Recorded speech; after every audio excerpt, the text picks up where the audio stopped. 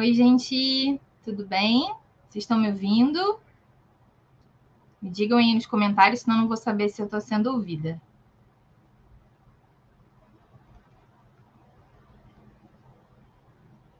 Deixa eu aumentar o volume aqui. Tudo certo aí? Sim, ouvindo, né? Beleza, obrigada, Rodrigo. Bom, gente, é... que bom que vocês estão aqui. Estava ansiosa para esse dia. Oi, Angel, tudo bem?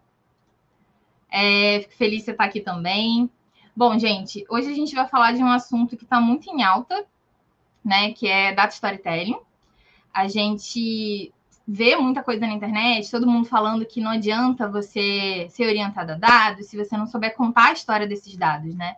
E é justamente sobre isso que eu vou falar hoje, tá? É, fico feliz de ver pessoas conhecidas aqui no chat. É, vamos lá. É, eu vou começar é, a apresentação direto, eu sei que tem gente que não me conhece aqui, mas porque durante a apresentação eu vou contar um pouquinho sobre mim, tá bom? Vou compartilhar a tela aqui.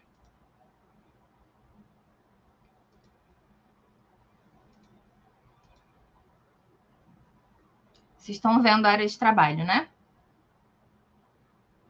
Vou compartilhar agora os slides.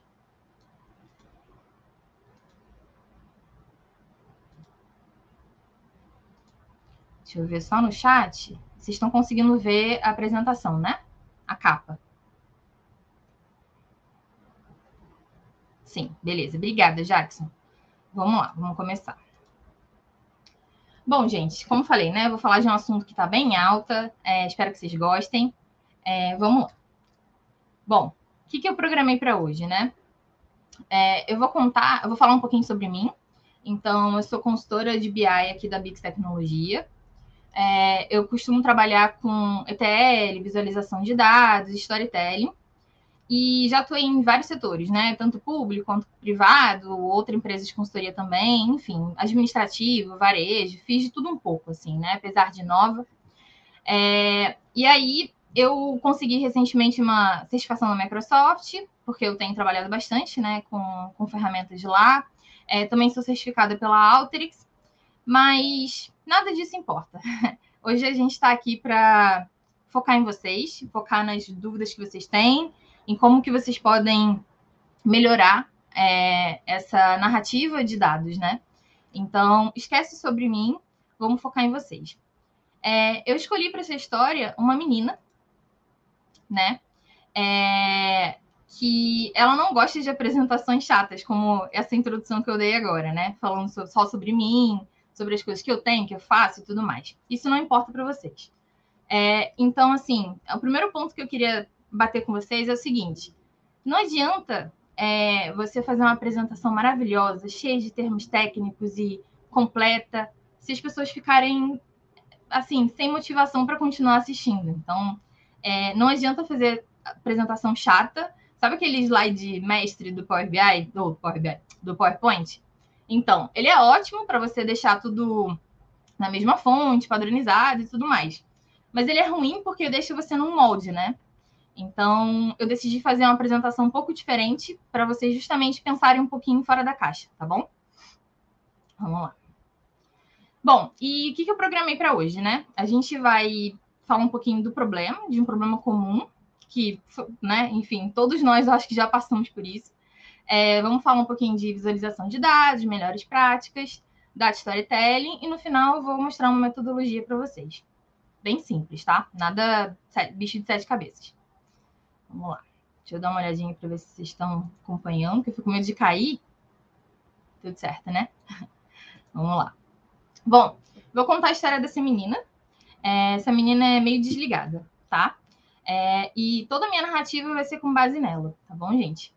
É, bom, essa menina, ela era conhecida por ser muito desligada, porque as pessoas falavam com ela e às vezes ela estava viajando na maionese, ela estava pensando em tudo menos no que a pessoa estava falando. Então, a, a própria mãe dela chamava ela de pastel, né? Porque ela era realmente desligada. E essa menina, ela não gostava de português, geografia, biologia, essas matérias assim, sabe? É, nem matemática porque na escola dela, ela não tinha professores que fugiam, assim, da, daquele tradicional cuspigir, sabe? Então, ela ficava um pouco entediada. E ela, obviamente, não se dava muito bem nas matérias, né? Nessas matérias. E aí, eu lembrei até é, de colocar esse exemplo aqui, que foi um livro que eu li, e essa menina também. É, esse livro do Pequeno Príncipe, né? É, e Memórias Póstumas de Brás Cubas. É, geralmente, né, lá na época do, do, colégio, a gente tinha que ler livro para fazer resumo, fazer prova e tudo mais. Só que o que, que, acontece na maioria das vezes, né? A gente sempre tenta procurar alguma forma mais fácil de aprender sobre aquilo, de entender sobre aquela história, sem precisar ler. É, eu, na época, eu também procurava por vídeo e essa menina também. Por que será, né? É, é, porque a linguagem visual, né, aquela que não é escrita, aquela que não é só a, o papel e a letra, ela importa, né? Então, por isso que a gente busca caminhos para ir para a parte mais visual, para a parte de imagens mesmo, né? Então, até mesmo, digamos que vocês não tenham vendo, não estejam vendo nada aqui na, na, nos slides, e eu falo para vocês assim, ó, não pensem no hipopótamo rosa. O que, que vocês vão fazer? Vocês vão ter que pensar no hipopótamo para depois encaixar a frase que eu falei, né? Que é não pensar sobre isso. Então, assim, por mais que a gente não esteja mostrando, é, tudo que a gente vai falar, tudo que a gente vai dar de exemplo, a gente está visualizando na nossa cabeça, né?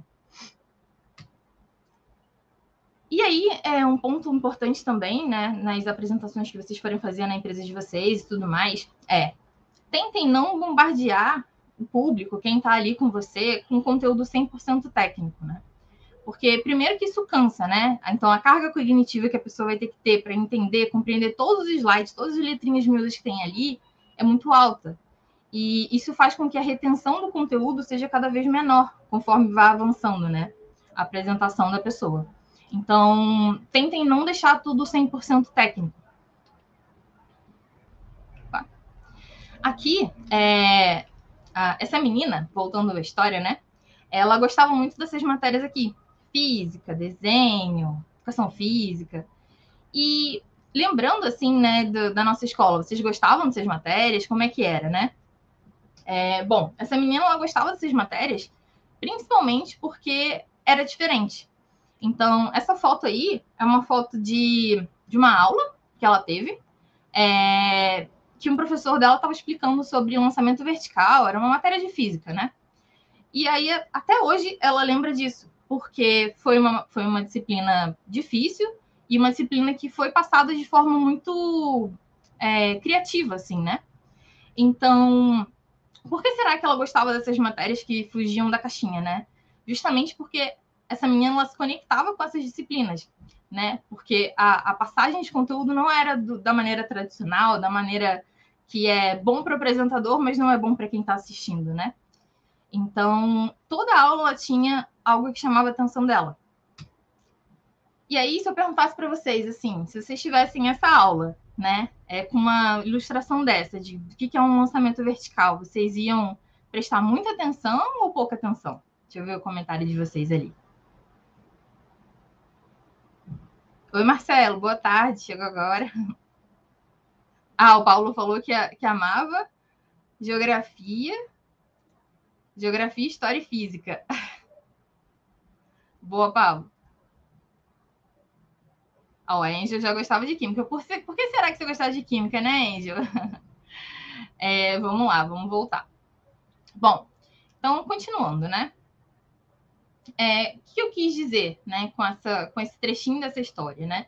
Que o sem graça vai levar sempre ao sem graça, não adianta, né? Se você quer que o público se engaje, não adianta você fazer a mesma apresentação 50 vezes igual da mesma forma, sem, sem chamar nenhum ponto de atenção, né? É, e aqui eu coloquei também que, assim, tentem não se camuflar por trás de padrões, e tudo bem, eu sei que empresas têm padrões para você seguir, brand lá da, da, das cores e, e, logo e tudo mais, mas assim, se vocês puderem ousar, se vocês puderem colocar um, um elemento diferente, tentem fazer isso, tá? Não usem coisas template, assim, sabe? É, se vocês querem realmente impactar e fazer gerar ações a partir dessa apresentação de vocês. Bom, continuando. É, vocês acham mesmo que essa menina era desligada ou era só ou ela só era ligada em coisas é, legais, né? Porque tem uma pequena diferença, né? É, eu acho que essa menina, ela, na verdade, ela tinha dificuldade de focar em coisas chatas, né? Então, e aí vai a pergunta para vocês, né? É, por que, que você está aqui hoje, né? Qual, qual o seu principal objetivo? É, vocês conseguem me dizer? Estou vendo o chat aqui na outra tela. Vamos ver aqui.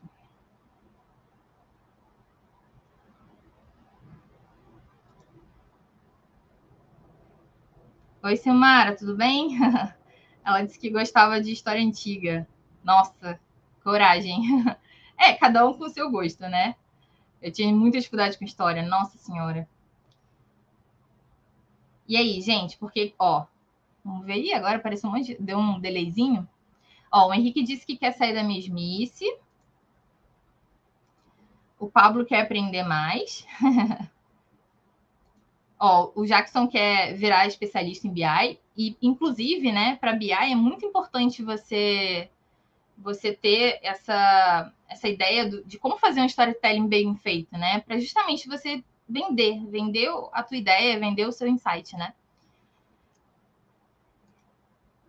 Ó, também tem mais um comentário, ó. Aprender mais sobre como passar informação de maneira diferente da convencional. Boa! Arrasou. Vamos voltar lá. Então, beleza. Vamos supor que você esteja aqui porque você quer, sei lá, vender um produto, né? Você quer saber como. Pode ser uma ideia também, né? Ou você quer ganhar um destaque profissional, você quer mostrar que veio, né? Ou então você quer apresentar uma ideia para o teu líder, para o teu gestor, tua gestora. Independente de para que, que você quer aprender mais sobre data storytelling, você vai precisar com que o seu público tenha uma confiança em você, né? Então, você vai precisar passar essa, essa ideia de que o que você está falando faz sentido. Mas para isso, não é, não é só você abrir um PPT e passar 50 milhões de slides ali na frente, né? E falar de teorias e tudo mais. Você tem que passar o teu lado humano, né? Afinal, tem um ser humano ali apresentando. Você tem que passar, transmitir que não só a pessoa que está apresentando é detentora do conhecimento. Isso é muito importante. É, mas vamos supor que você não queira é, não queira nenhuma dessas, dessas opções aqui. Vamos supor que você queira conhecer a Bix, tá? Bom, aí falando só um pouquinho sobre a Bix. A Bix é uma empresa de consultoria, para quem não acompanhou os outros dias de evento. Ela é focada em dados, ela é uma é, empresa de consultoria em dados e ela atua de ponta a ponta, né? Ela vai desde lá do, de é, entender como é a cultura da empresa, né? Se ela é, já é orientada a dados ou não, desde o do iníciozinho ali dado, o nascimento do dado, até a parte final, né? A parte de tomada de decisão, enfim. É, então, a gente tem consultores de engenharia de dados, tem consultores de data science, de BI. A gente atua em todas as frentes. E se eu pudesse escolher um meme para representar a Bix, é, eu escolheria esse meme aqui porque a Bix ela é fanática por problemas, por resolver problemas, não pelo problema em si, né?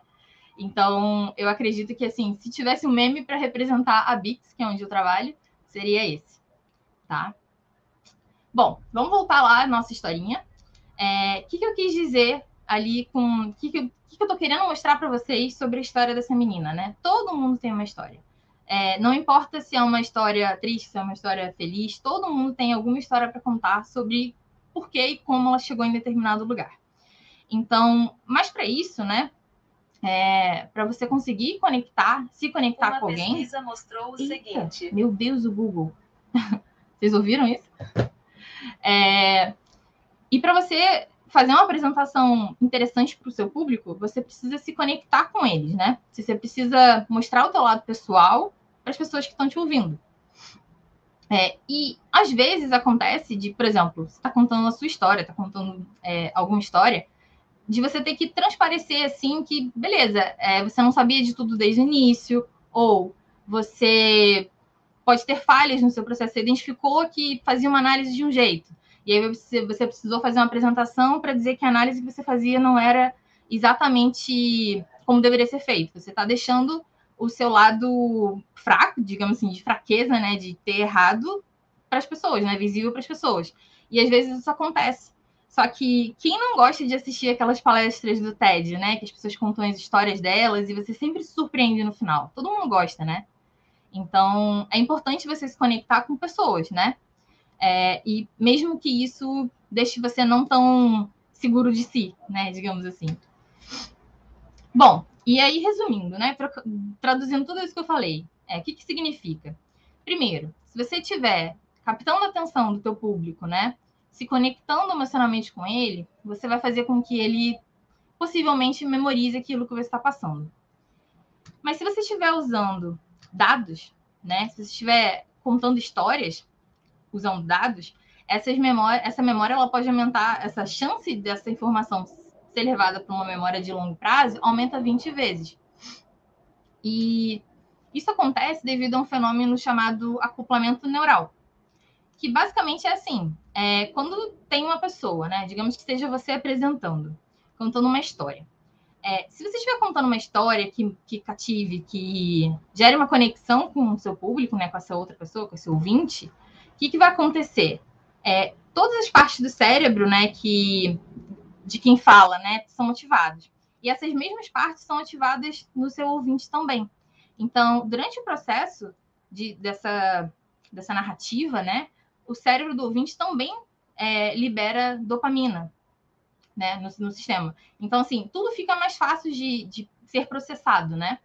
Então, toda aquela questão de é, a, a, o sentimento, né, a sensação, a emoção que você sente quando você vai ver um filme e te lembra de alguma coisa, é, isso acontece também quando você ouve uma história interessante, né?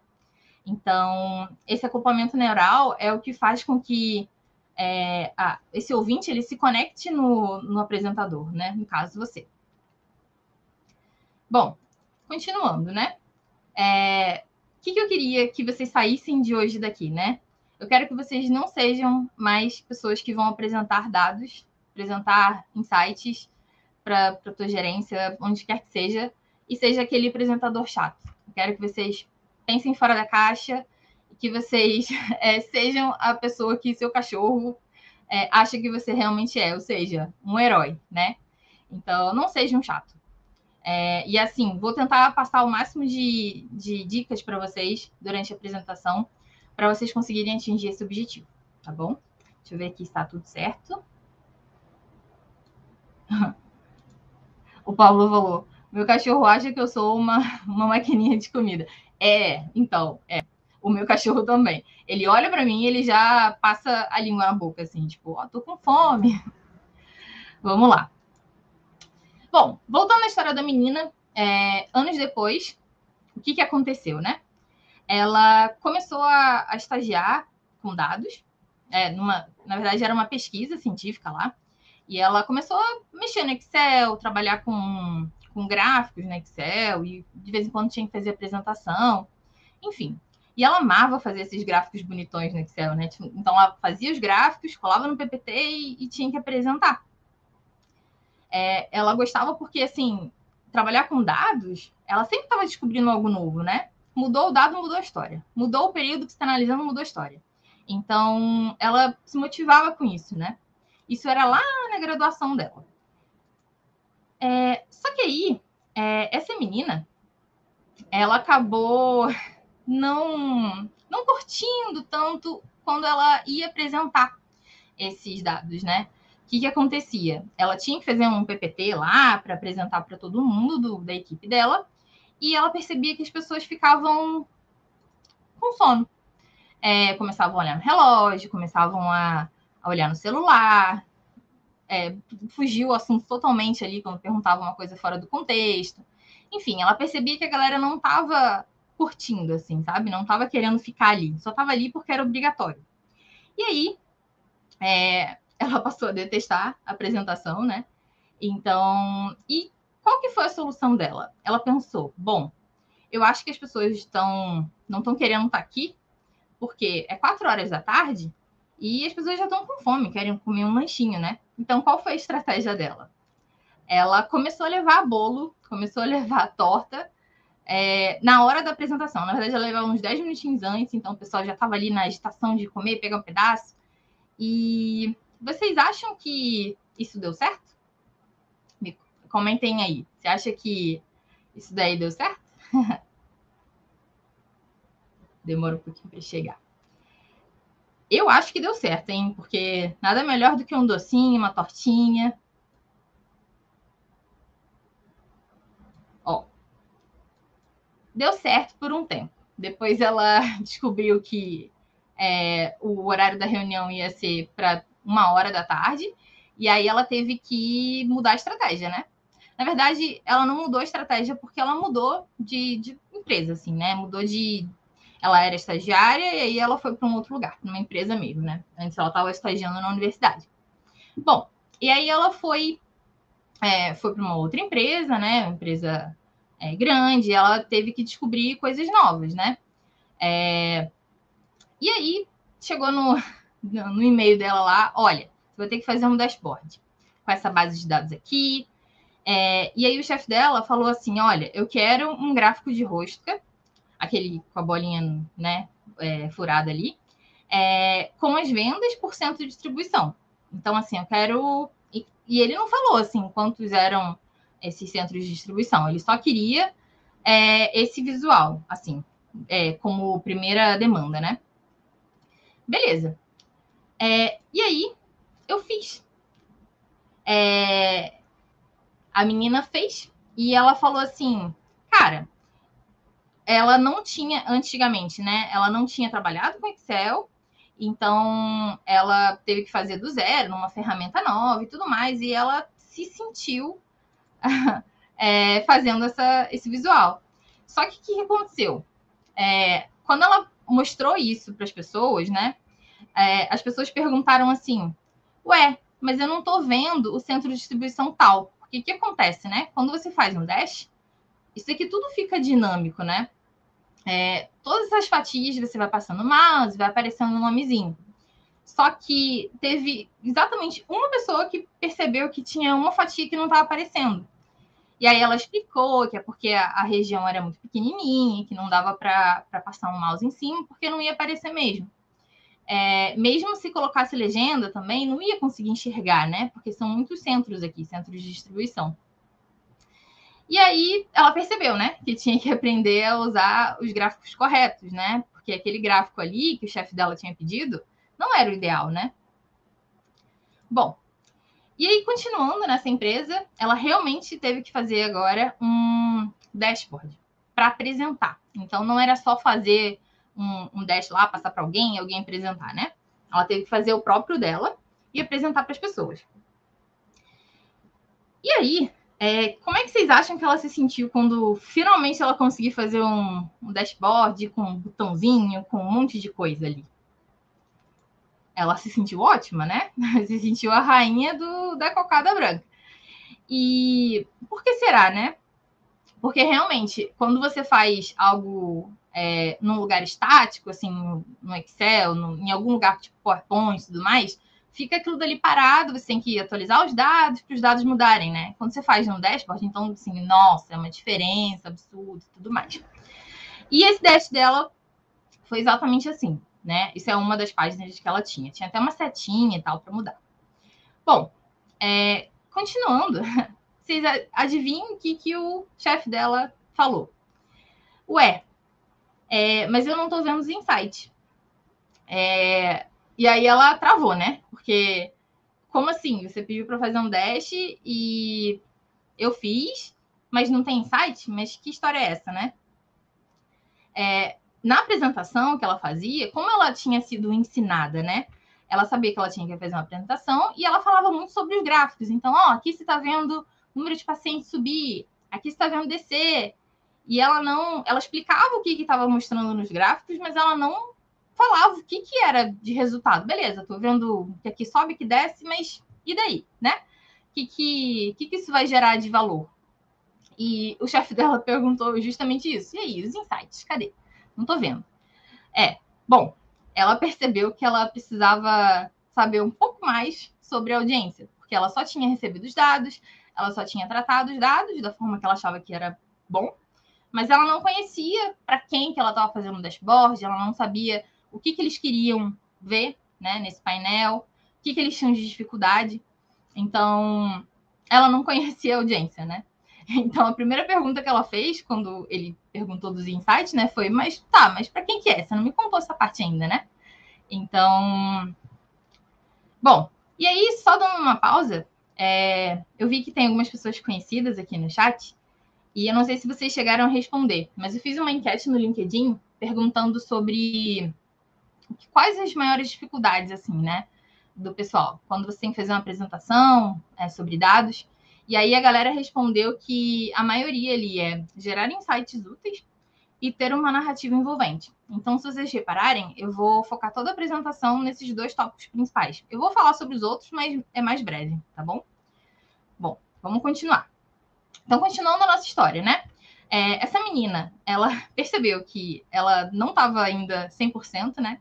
Apesar dela ter ficado muito feliz com o primeiro dash dela. E ela começou a fazer aquele processo natural, né, de aprendizado. Vai lá, tenta, erra, aí pede opinião, estuda mais um pouco. E ela já estava ficando doida, né? E aí ela decidiu aprender por partes, né? Então ela começou a aprender sobre visualização de dados, que foi aquele primeiro problema que ela teve. E aí todo mundo gosta de um conceito, né? Vamos para o conceito? Visualização de dados. O que, que você precisa, né, entender disso? Ah, você tem que pegar lá um conjunto de dados e fazer uma representação que ajude as pessoas. Ajude as pessoas a entender melhor aquilo, né? Ou seja, você pode pegar um tabelão, você pode pegar um gráfico de, de barras ali que vai te resumir as informações, né? Então, basicamente, a visualização de dados é isso. É, essa frase aí, quem disse foi a Tamara. Tem o nomezinho dela ali embaixo. Bom, e aí voltando àquele probleminha, né? Aquela vergonha alheia, né? É, a escolha do gráfico. Por que, que vocês acham que esse gráfico não foi legal? Me contem aí. Ah, o Paulo, o Paulo disse que votou no campeão.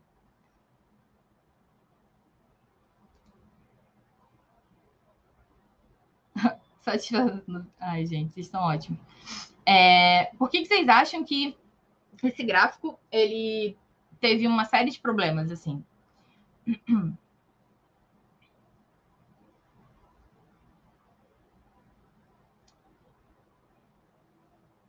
Ó, o Pablo falou ali, né? Muita informação. Realmente, tem muita informação ali. Ó, a Nayara também falou. Muita informação sem passar clareza. Exatamente. Perfeito, gente. É, é justamente isso, né? Você está usando um gráfico que é para resumir uma informação, mas você está passando todos os detalhes ali, né? É, num visual só. Ó, o Renan também falou, não dá para diferenciar muito bem a diferença entre os pontos, né? Realmente, quando, quando vai diminuindo aqui, né, fica impossível saber o que, que é cada coisa. Bom, beleza. Então, vocês sacaram qual é o problema. E estudando, né, essa menina descobriu que qual que era o real problema, né? Todo mundo fala mal de, de gráfico de pizza, gráfico de rosca. E ela decidiu, de uma vez por todas, definir um processo de como melhorar o gráfico de rosca, né? E aí, o que, que ela percebeu? Ah, vamos dividir em até quatro subdivisões. Tem gente que diz três, tem gente que fala quatro. Eu acho que de três a quatro é, é um número legal. O que, que ela fazia? Né? Ela passou a fazer. Ela passou a agregar. Então, assim, se eu sei que eu só preciso ver os maiores, né, os três maiores, eu vou criar uma categoria que vai se chamar outros, para poder agrupar esses outros produtos, linhas de produto ali, né, é, numa nova categoria. Ó, o Marcos. Deixa eu ver. Ih, perdi minha mouse. Bom, é, e aí, vamos voltar aqui no, no anterior essas, essas quatro subdivisões, né? Se ela for só assim, tá tudo bem? Assim, faz sentido? Ah, então beleza. Outro está aqui de cinza, depois eu vou para um que é 20%, depois eu vou para um que é 43%. E muita gente hoje em dia deixa, mantém o gráfico assim. Só que, apesar daqui, né, a diferença ser bem grande, né, de 42, de 43 para 20, pode ser que os, que os dados, dependendo do filtro que você aplique ali, não fique exatamente nítido ali, qual que é o maior né? Se for de três a quatro categorias. Então, o que, que é bom fazer, né? Que, qual é a boa prática? É você ordenar, né? Ordena do maior para o menor no sentido do relógio. Tem gente que faz o contrário, né? Mas acho que no sentido do relógio faz sentido. É, então, você continua com as categorias ali, mas você ordena. Mas digamos que, sei lá, o chefe dessa menina fale: ah, sai, mas eu quero ver todo mundo, eu não quero agrupar. Beleza, aí você pode usar o gráfico de barras, né? Bom, e aí só uma pequena pausa. É, tem algumas dicas, várias, né?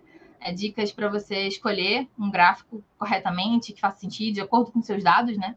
E aqui tem três linkzinhos, se vocês quiserem printar, depois pausar o vídeo e printar, sem problemas também. É, que são esses daqui, ó.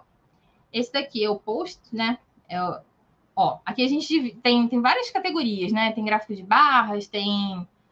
Ó, eu, eu posso analisar dados categóricos no tempo, parte do todo, enfim.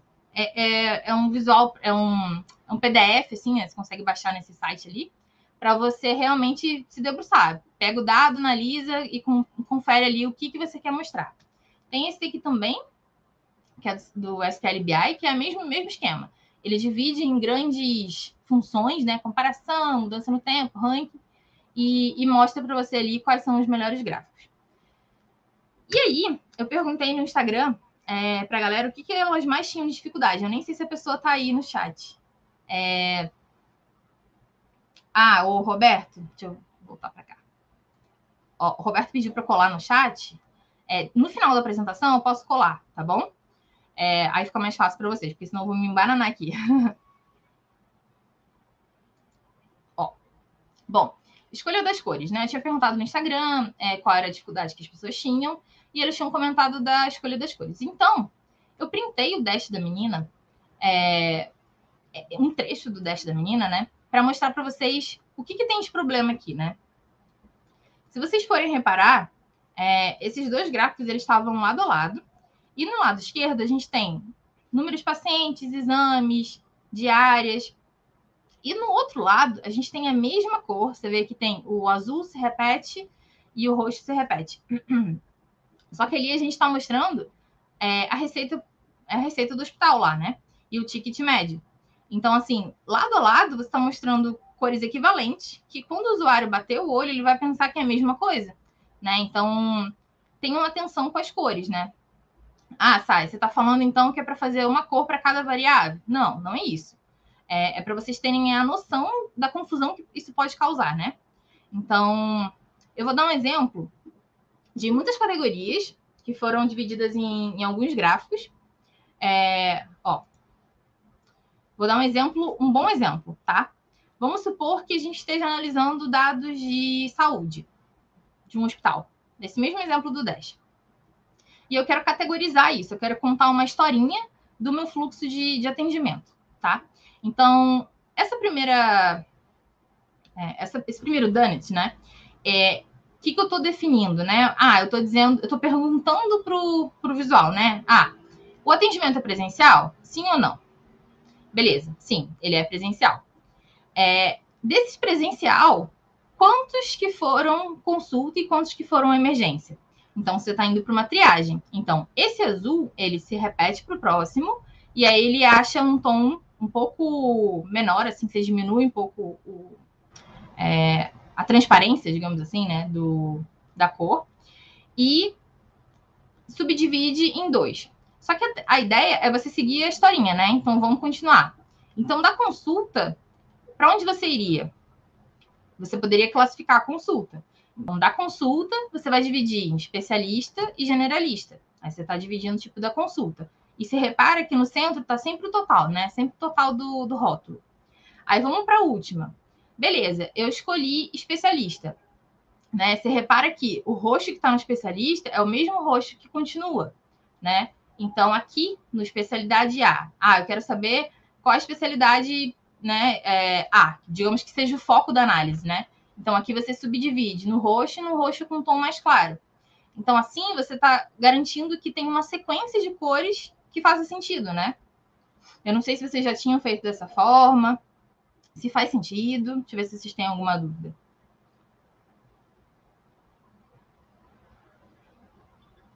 Vamos lá que está sem dúvida. Bom, é, agora vamos falar um pouquinho sobre a disposição dos visuais. É, a primeira coisa que, que é bom a gente ter uma ideia, assim, né? Isso depende muito daquela conversa que você vai ter com quem está te pedindo o dashboard ou o relatório, né? é saber o que, que é mais importante. Porque é aí que você vai mostrar, você vai saber a hierarquia, assim, né? A, a ordem dos elementos que você está tá colocando no seu painel e tudo mais. É, mas existe também uma hierarquia que é relacionada a, a por exemplo, você está querendo mostrar um título de alguma coisa. Se você coloca esse título na mesma fonte, no mesmo tamanho, tudo bold, tanto no título da página quanto no título do, de cada gráfico, você não vai saber o que, que é mais importante, né? Se você olhar só para o título.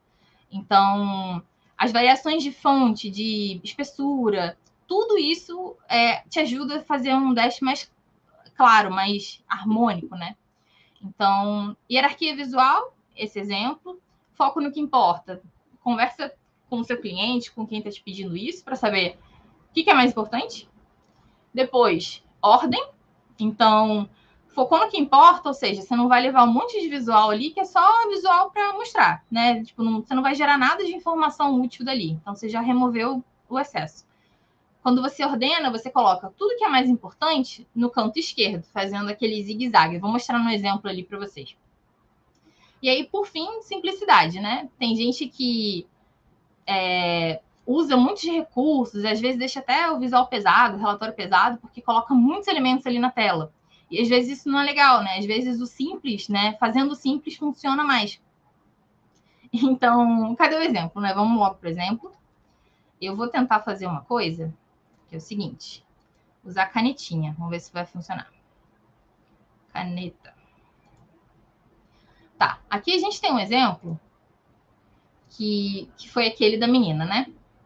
que, que ela fez aqui? Ela colocou um filtro né, de data, colocou mês ano, colocou convênio e tudo mais. E aí colocou uns ícones, beleza. O que, que a gente vê de problema aqui, né? Eu vou fazer junto com vocês. Vamos. Vamos ver aqui, ó. Escreva aí no chat o que, que vocês acham que tem de problema. E aí a gente vai ticando. Eu vou começar aqui, tá? Que, que eu acho que eu vejo de problema? É, aqui a gente está vendo três linhas, né? Aí é o primeiro ponto que eu falei para vocês, né? A questão das cores. Então, as cores aqui, uma do lado da outra, você vê que não são variáveis que fazem sentido e, é, e podem confundir. Tem um outro problema também, nesse mesmo gráfico aqui. Qual que vocês acham que é? Ó, o Roberto Carlos, ele perguntou assim, ah, é, quantos visuais é aconselhável por página? Depende, Roberto. Tem gente que faz assim, ah, cinco, seis. Eu não gosto de dar esse valor porque varia muito.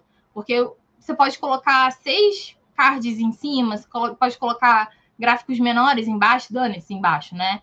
E depende muito do. Porque às vezes, assim, três, três elementos, três gráficos, na verdade, eles compõem um só, uma ideia só. E não faz sentido separar eles, né? Então, tudo depende, assim, muito, né? assim, na minha opinião. Não sei se alguém tem um número mágico aí, tá? Bom, ó, a Cecília falou assim, ó. É muito bagunçado os números do segundo gráfico. Realmente, né? Ficou confuso.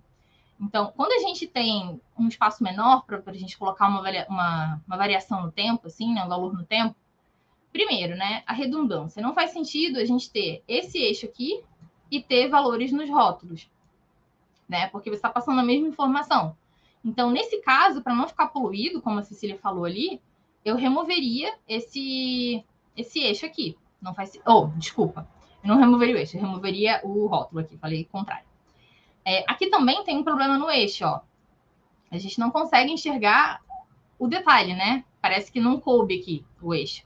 Então, esse lado aqui direito, ele tá um pouco melhor para entender, né? Ah, eu tô vendo 2017, primeiro trimestre. Mas aqui do lado, você tem que fazer assim, né? Para entender o que está mostrando. Vamos lá. Ó, a Vanessa Mendonça falou assim. É, no terceiro gráfico temos muitas variáveis. Esse daqui, né? Isso, exatamente, ó. Repara que o usuário ele não vai conseguir ter uma noção do total, né, da, da composição completa, se ele só olhar para a legenda. Ele vai ter que clicar aqui para navegar e mesmo assim não vai caber, assim, né? não vai conseguir passar o mouse e identificar claramente qual é o convênio desse gráfico. Perfeito, Vanessa.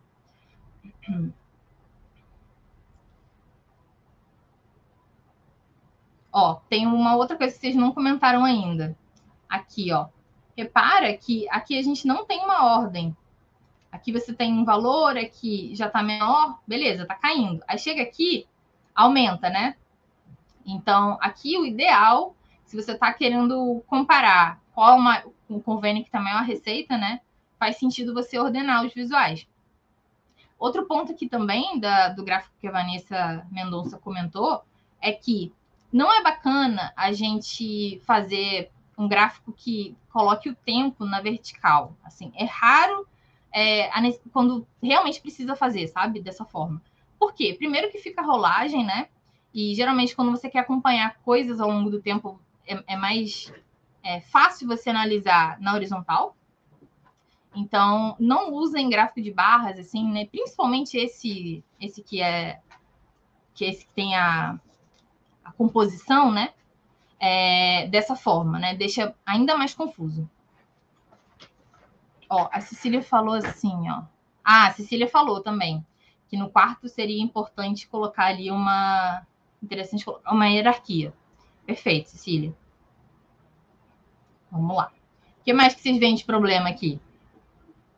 Eu lembro que quando eu fiz a primeira vez, eu tinha achado um monte, assim. É, acho que eu tinha achado mais de 25 pontos. Enfim, vamos continuar para a gente conseguir mostrar o resto. Deixa eu botar aqui.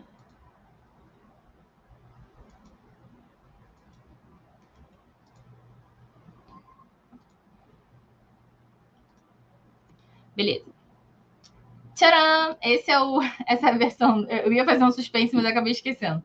É, esse é o gráfico que foi transformado daquele outro. Você repara que é, tem os mesmos dados, as mesmas informações, só que foi refeito do zero para poder ficar mais claro. Você vê que aqui a gente já colocou uma, é, uma ordem no, nos valores. Aqui, aqui, aquele lance que eu estava falando das cores para vocês, né? Receita e ticket médio. É, o ticket médio depende da receita, né? Para você calcular o ticket médio, você precisa dessa variável. Então, como você está mostrando valor, ambos são valores, aqui a escolha foi um, um tom de azul para receita, que se repete em todos os gráficos, então tudo que mostra receita está nesse tom. E ticket médio é uma variação, é, é, uma, é uma métrica que depende da receita. Então foi colocado num tom um pouquinho mais claro, mas é o mesmo azul, né? Aqui do lado, né? Evolução de pacientes, exames e diárias, mesma coisa. A gente não está confundindo as cores aqui, mostrando um do lado do outro, né? Então, ficou um pouco mais claro de enxergar. Decomposição da receita. Esse dado aqui não tinha lá. A única coisa que eu, que eu, que eu dei uma melhorada, assim, tá? É, aqui eu quis mostrar uma demografia da receita, né? Ah, qual é o sexo do, das pessoas que pagam esse plano, enfim. E a faixa etária. Então, eu fiz um gráfico de decomposição da receita aqui. Fiz um menuzinho simples, o, os filtros que estavam lá naquela página estão suspensos aqui, como se fosse um sistema, sabe? E você vê que tudo que, todos os espaços aqui estão iguais, né? Ó, você repara que tem uma área de respiro aqui entre os elementos, né? Eu selecionei também alguns ícones aqui em cima para você conseguir já olhar e falar, ah, beleza, estou falando de receita, estou falando de paciente, todos os ícones fazem sentido com o que você está mostrando. Então você não precisa ler ali, ó, receita em, cinza, clarinho. Você não precisa ler. De cara você já entende pelo ícone, tá? Vamos continuar. E aí, você acha que essa menina aprendeu tudo? que ela já está pronta para entrar numa nova empresa e, e, sei lá, dar aula de data storytelling? Vocês acham que ela já sabe tudo? Ó, o Roberto disse que, que sim. Mas não é, ela não sabe tudo ainda. Eu não falei de algumas coisas para vocês. Vamos lá. O que, que ela descobriu, né? Ela descobriu o que, que não é data storytelling, né? Deixa eu tirar esse negócio aqui, peraí. O que, que não é data storytelling? Então, ela descobriu que não é visualização de dados, que não é dashboard, que não é design de dashboard, não é nada disso. Data storytelling é usado para você conseguir é, comunicar insights, né? usando elementos de narrativa, usando é, visuais exploratórios, né, é, explicativos, né? Então você não só mostra os dados, né, mostra aqueles gráficos, mas você explica eles com a sua narrativa, né? Então, muita gente acha que pelo fato de você deixar o dash mais bonito, que você vai conseguir dizer, ah, consegui contar a história dos meus dados. Não necessariamente, tá? Você precisa entender um pouco mais sobre os dados, é, conseguir gerar insights através deles. Então, aqui eu achei é, desse autor, do Brent, não sei falar o sobrenome, é, eu achei essa comparação bem bacana, que ele chama de story framing e storytelling, né? Qual a diferença dos dois? Então, você tem um dashboard aqui na esquerda. Então, o que, que você que, que você faz com o dashboard? Você explora, você explora os dados eu sei que tem hoje em dia, né? Vários visuais de narrativa para você entender um pouco melhor, que já deixa as coisas um pouquinho mais mastigadas para você. Mas pode ser que essa narrativa que for feita possa não fazer sentido, possa não ter, não ter gerado valor, né? Então, é, nem se, dificilmente o automático vai resolver, vai conseguir contar a história dos seus, dos seus dados. Então, exploratório e explicativo. Essa é a diferença dos dois qual que é o foco do dashboard? É amplo, né? Você consegue fazer N tipos de análises e, e já no storytelling, não. No storytelling você tem que focar. Então, você tem que pegar lá um insight que você teve e destrinchar ele, mostrar para as pessoas que aquele insight faz sentido, para aí sim gerar uma ação, gerar uma ideia, para fazer executar essa, essa ação, né? Beleza. É, então, dashboard aqui, né? É dinâmico, o storytelling já é estático, então você vai contar a história. Eu estou contando uma história para vocês agora, é, usando os dados que eu tenho, né, as informações que eu tenho. Mas ele vai ficar estático, né? Ninguém vai mudar um filtro e falar, não, a Sayuri agora vai falar sobre isso, isso e isso. Não tem como. Enfim, tem, vocês podem olhar depois com calma. É, aí agora eu vou dar um exemplo para vocês, tá? Deixa eu, esse comentário foi engraçado. O Rabo falou: pelas coisas que vejo por aí, muito consultor precisa, precisa ver essa aula. Isso não é aula, isso aqui é um bate-papo, tá? Vamos lá. Exemplo, é, receita. Vamos supor que a gente tem um card lá é, dizendo que, ó, sua receita caiu 27%. 27%.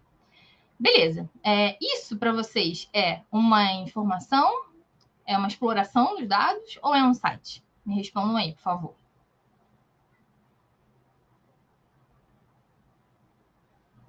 Será que essa menina sabe o que, que é isso? Vamos ver se vocês entenderam tudo que eu falei.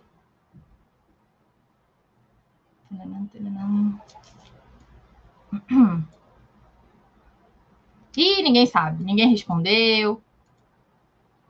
Vocês acham que esse card. Ah, agora sim, agora apareceu. Dá um delayzinho. É, vocês falaram ali que. Opa, marquei o errado, bem na hora. Cadê, cadê, cadê? Ô, Roberta, achei você. É, vocês falaram então que é informação, né? Beleza. Concordo com vocês. É uma informação apenas.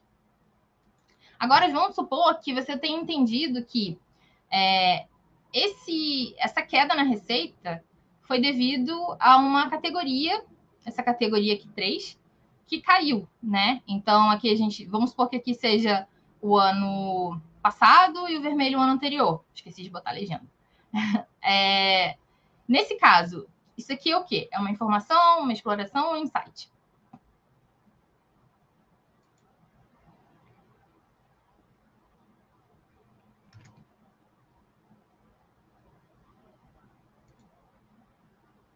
É uma exploração.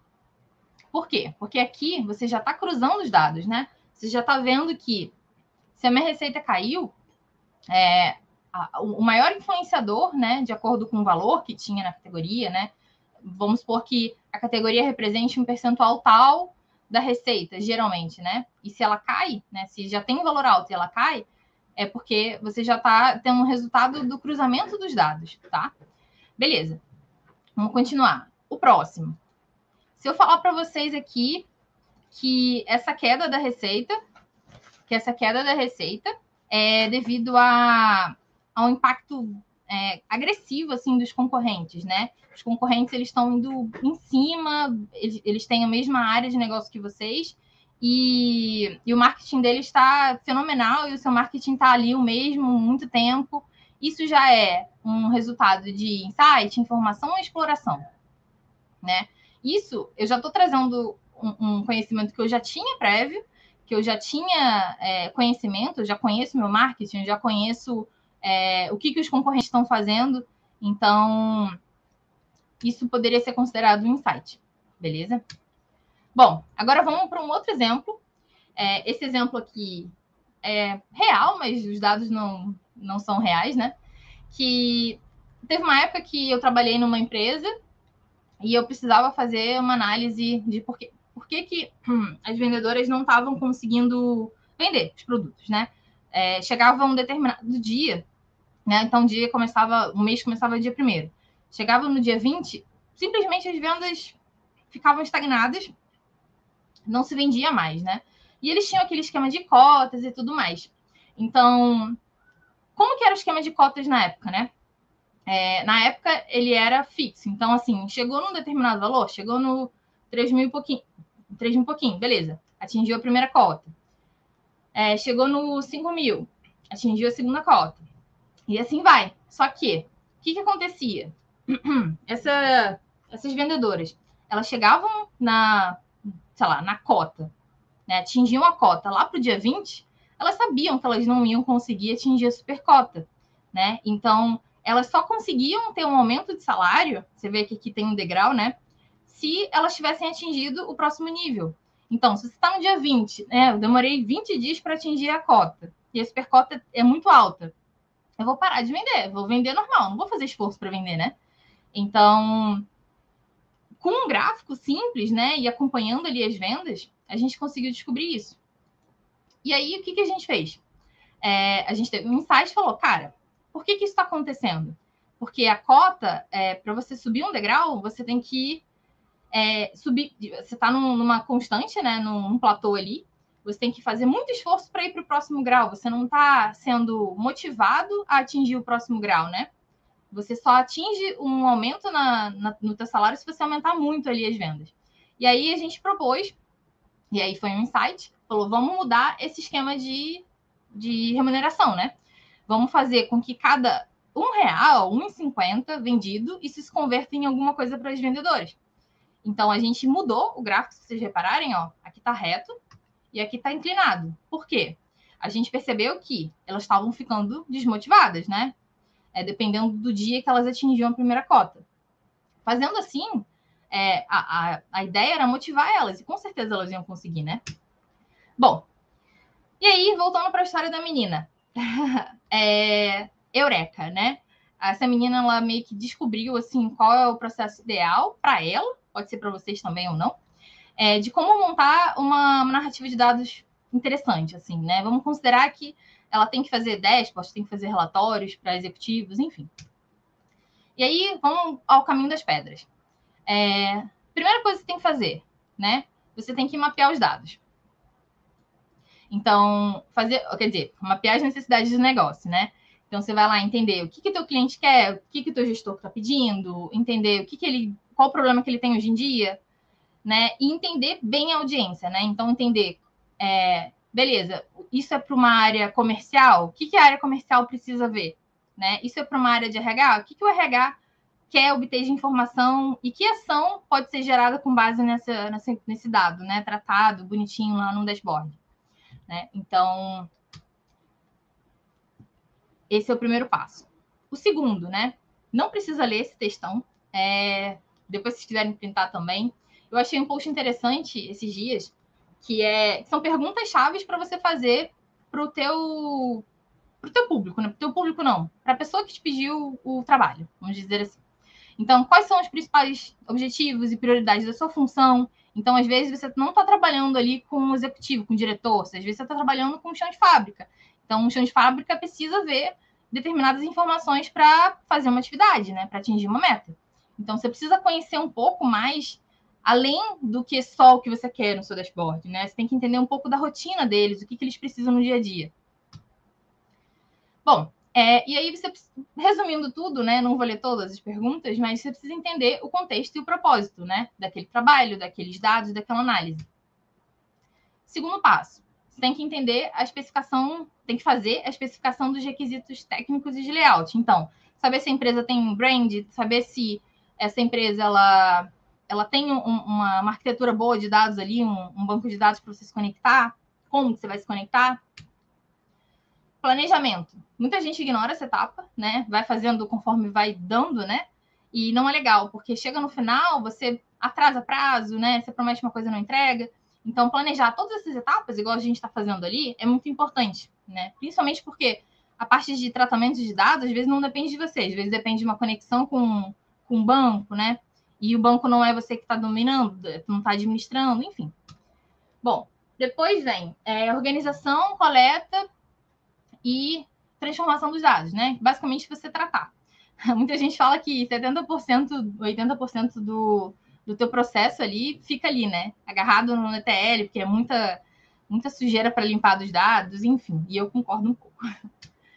Bom, é, desenvolvimento da solução. Aqui você vai fazer protótipo, né? Você vai fazer um mockup, vai desenhar com, a pessoa que te pediu o painel, o relatório, e vai validar isso, tá? Isso aqui tem que ser algo, não, não digo escrito em pedra, né? Mas tem que ser o mais próximo do que a pessoa quer possível, tá? Então tenham paciência. E aí, uma dica para mockup. É, não sei se vocês conhecem, mas existem várias ferramentas para você fazer um protótipo, um protótipo do que seria o dashboard ou o relatório. Então, você ali é tudo dado fake, né? Você coloca o dado imputado na mão, mas é mais para dar uma ideia do visual e da, da ordem das informações, do que, que importa. Então, tem Figma, tem todos esses essas ferramentas que você consegue acessar na internet, no Google, só pesquisar no Google aí que você acha, tá?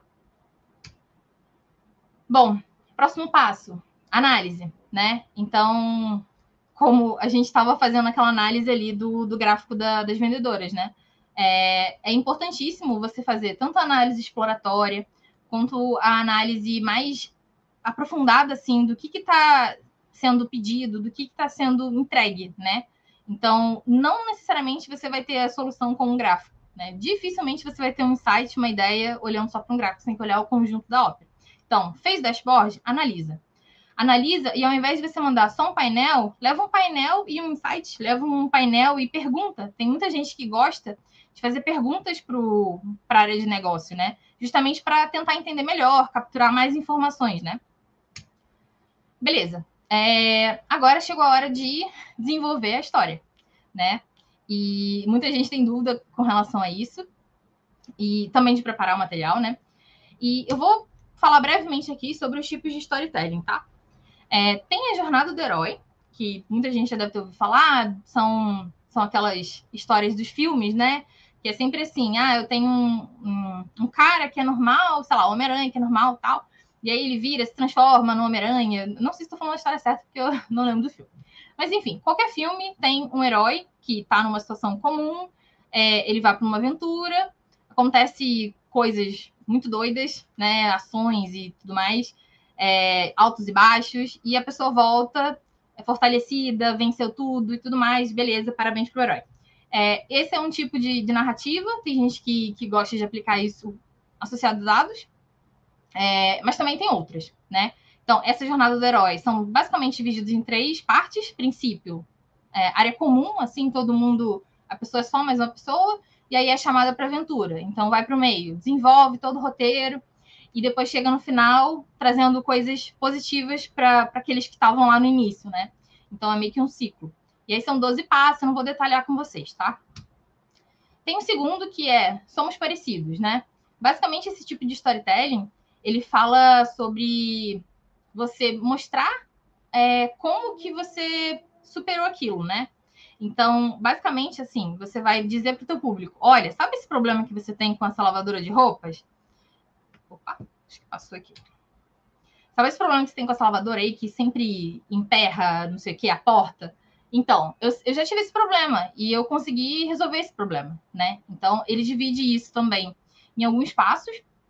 Então, você fala, é, se você estiver aplicando essa narrativa, né? Você fala, ó, somos parecidos, é, e aí também explora, né? Aquela parte, ah, eu também tinha medo, eu também era inseguro.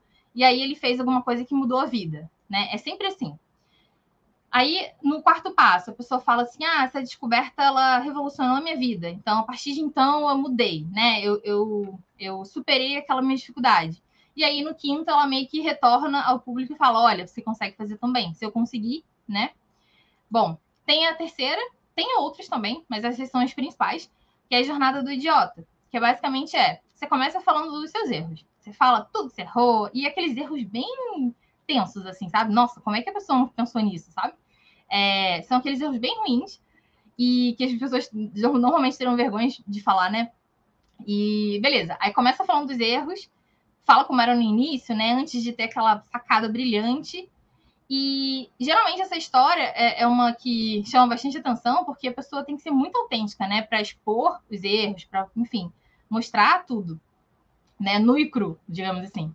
E aí acaba incentivando, né? O quarto e o quinto passo são sempre assim, né? Então você incentiva as pessoas a, olha, se eu conseguir fazer isso, olha como eu era, né? Tipo, olha a besteira que eu fazia. E agora eu não faço mais. Você também consegue. Você que não erra tanto quanto eu, você consegue também, tá?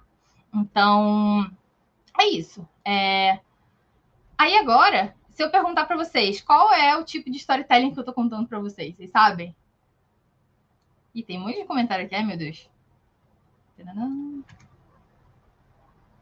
Vocês acham que eu tô falando, que eu tô fazendo o, a jornada do herói, o Somos Parecidos ou a jornada do idiota? Depois vocês me, me digam aí o que, que vocês estão achando. Bom, é, então agora é, tem mais uma dica aqui, que é o storyboard. Muita gente, né, muito storyteller e tal, é, recomenda você usar um template de storyboard para você justamente pontuar tudo aquilo que eu falei de saber o que o cliente quer, saber o, a dor do negócio, né? Conversar com cada área que está sendo atendida por aquela solução, tá aqui, né? Então, propósito, que, qual a mensagem principal que você quer passar? Qual a história, né? É, o que, que você espera que as pessoas façam? Então, esse call to action aqui. Enfim, tem muita gente que usa, né, é, esse quadro para pelo menos nos primeiros, né, ter uma noção do que, que eu tenho que fazer primeiro, que informação que eu preciso é, ter para gerar é, os próximos passos, né? Eu acho bem bacana também. Bom, aí chegou a hora do ensaio, né? É, basicamente, você tem que lembrar ali do público-alvo, né? É, para que, que, que é apresentação? Hoje eu estou fazendo uma apresentação para vocês. Vocês acham que eu não estudei sobre vocês? Todo mundo que comentou que ia vir e tudo mais, eu dei uma estudada. Então, estude a audiência para você fazer uma apresentação bacana. E o principal, apresente para sua mãe. Então, minha mãe tá até aqui, de vez em quando ela vem com um papelzinho sem sair e já tá passando a hora. É, apresenta para sua mãe, vê o que, que, ela acha, vê se ela entende. Então, se você vai fazer uma apresentação técnica, é, vê, se essa, vê se ela entende o que você está falando. Então, muitas vezes você vai fazer uma apresentação que não é da mesma área que você, né? E você tem que mostrar para elas que, olha, é, o que eu estou fazendo faz sentido, preciso de ajuda. E não adianta você ficar falando várias palavras técnicas lá, porque a galera não vai entender, né? Por fim, apresentação, né? Você já ensaiou tudo, relaxa, fica calma. Eu falo isso, mas eu fico muito nervosa. É, e tentem sempre, início da apresentação, quebra o gelo, fala com a galera, durante a apresentação, fala com a galera também. É, faça pausa, né? Então, você quer mostrar emoção, né? Faça pausas para mostrar o que, que você está querendo transmitir, né? Beleza. E aí, resumindo tudo, né? É, como que você faz para ser bom em data storytelling, né? Pesquisa, assiste os webinars da Bix, né? E tem autocrítica. Muitas vezes a gente acha que tá tudo perfeito, aquele dashboard que eu mostrei para vocês, bonitão. Eu achava que estava perfeito. Mostrei para uma amiga e ela falou: "Sai, você podia colocar isso daqui". E aí eu já mudei. Então, assim, peça a opinião das pessoas. Eu tenho certeza que você vai achar alguém para dar um pitaquinho que vai fazer diferença, tá? É, então, pesquisa prática e olhe com criticidade para o que você está desenvolvendo. Bom, e aí, quem que vocês acham que é essa menina? Essa menina que conseguiu descobrir um método para fazer um bom storytelling? Quem que vocês acham que é? Dou-lhe uma. Dou-lhe duas. Cadê, cadê? Ah, Pablo, você é muito sem graça. Você é muito sem graça, entendeu? Você já quebrou com a expectativa. Brincadeira, eu já imaginei que vocês fossem acertar. Então, sou eu, meu doguinho. É... Fico feliz que vocês estão aqui. Me contem se vocês gostaram. É... E se vocês gostaram, vocês têm que agradecer aos organizadores da, do evento, né? Esse evento foi bem legal, várias pessoas, várias áreas apresentaram, teve tutorial, teve várias coisas. Amanhã tem mais, inclusive. Então, a Bix Tecnologia e a Data Driven Organization é, organizou o evento. E a gente tem os patrocinadores, o Clique e a Tocato. tá? Então, agradeçam a eles, porque sem eles a gente não ia conseguir fazer o evento, beleza? E é isso, gente. Vou fechar com essa animação linda. Mentira, demorei um segundo para fazer. Mas essa é a Beats, esse é o nosso evento. Espero que vocês tenham gostado. Se tiverem dúvidas, comentem aqui, que no final do dia, assim, de noite, eu dou uma olhada e tento responder, tá bom? É, e obrigada, gente. Se tiverem qualquer dúvida, entrem em contato. Né? Vocês devem saber meu LinkedIn. Se não souber, é só pesquisar meu nome. E tá tudo certo. Gente, muito obrigada por terem participado, viu? Gostei muito. E agora eu vou dormir, porque tô Tava tensa aí com, com a apresentação, gente. Vou lá. Ah, o Pablo perguntou é, onde foi feita a apresentação. Foi feita no PowerPoint. Por incrível que pareça. Fui pegando os íconezinhos lá e fui montando, tá? Sem, sem slide mestre, sem nada disso. Que bom que vocês gostaram, gente. Então é isso. Compartilhem com a galera para o pessoal ver também, tá bom? Então é isso, gente. Beijo, boa tarde e desculpa aí por ter passado os seis minutinhos. Valeu, gente.